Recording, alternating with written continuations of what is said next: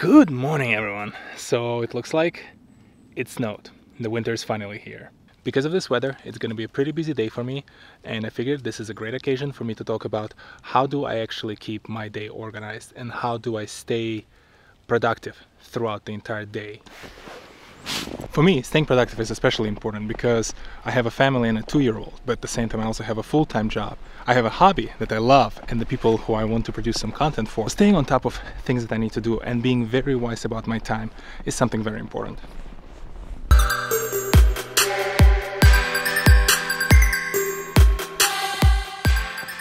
There's a small thing that I developed, which I call 24 action points theory, which basically helps me think how do I manage my day by hour. I want to say Mark Cuban was the one, uh, at least he was the first one I heard saying this thing time is my biggest commodity. And I think he's so right about it because time is finite. We don't have more than 24 hours in a day, and we don't have more than 7 days a week and 365 or 366 days a year. Because of that, I think you should not be only treating the days, but the hours in your life without more scrutiny, especially as you take on more and more things.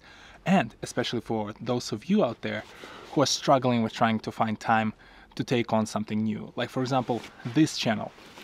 In theory, if you think about the fact that I have a full time job, I have a family, I have a little kid, I try to work out pretty regularly. You might say, where would you find also time to produce at least one to two videos every week? And this is how I had to do it. I had to actually think strategically about my every single day on the hourly basis, and I had to cut out the slack.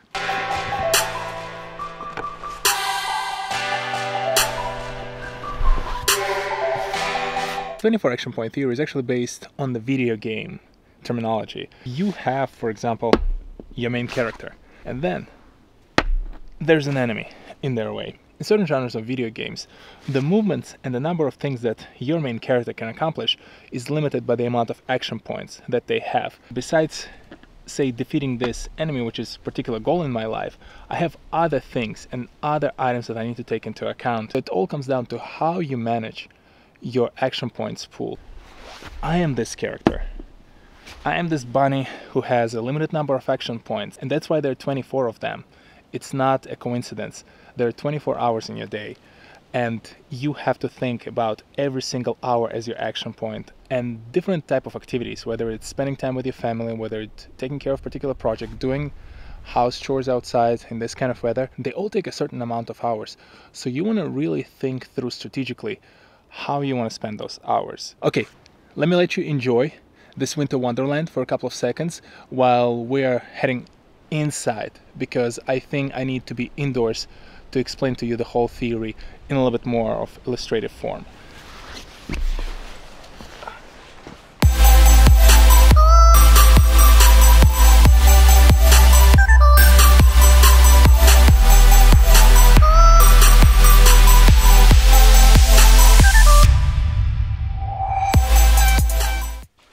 Okay, so now I'm back home. Let me use this wall of sticky notes as a way to describe what my approach is all about. Okay, so let's imagine the following. We have, as I've mentioned before,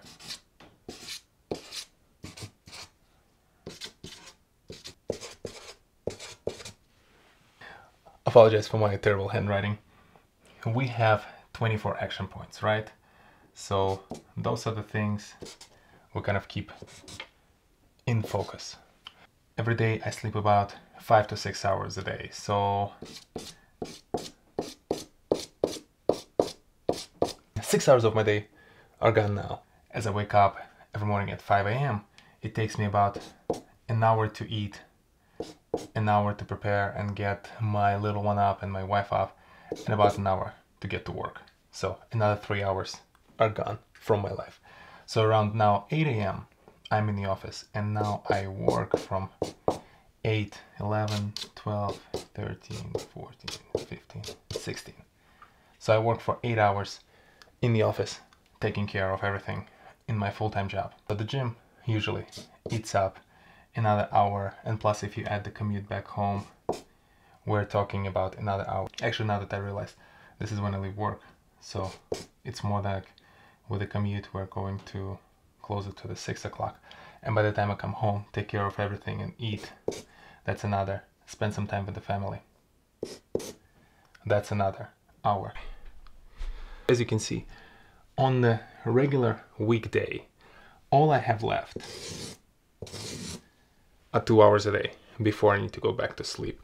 And I need to be very strategic about how I use those two hours because those two hours are only available to me five days a week. That means that there are only 10 hours a week that I can spend doing this kind of hobby, things of this nature. And this is the reason why I like this 24 action point system because when I do this, I quickly see that there are two hours in my life that I can either spend time just watching some TV show, playing video games, or sitting on social media, or I can spend these two hours of my life becoming better at my full-time job and becoming better at some of the hobbies that I'm taking care of or taking on completely new set of tasks. My advice is think about what kind of things you want to accomplish in life. Do you want to learn a new language? Do you want to take on a new hobby or maybe spend more time with friends?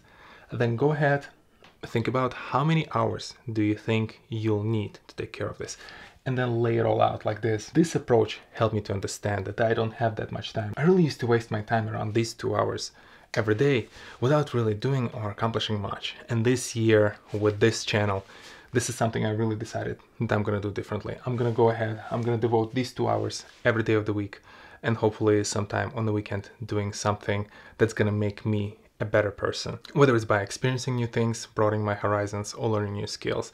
And hopefully in the process, I'm gonna take some of you along for a ride. This is the 24 action point system, or theory, or whatever else I called it. You should go ahead and try it for yourself and let me know what you think. Now let's go back outside. We have some work to do.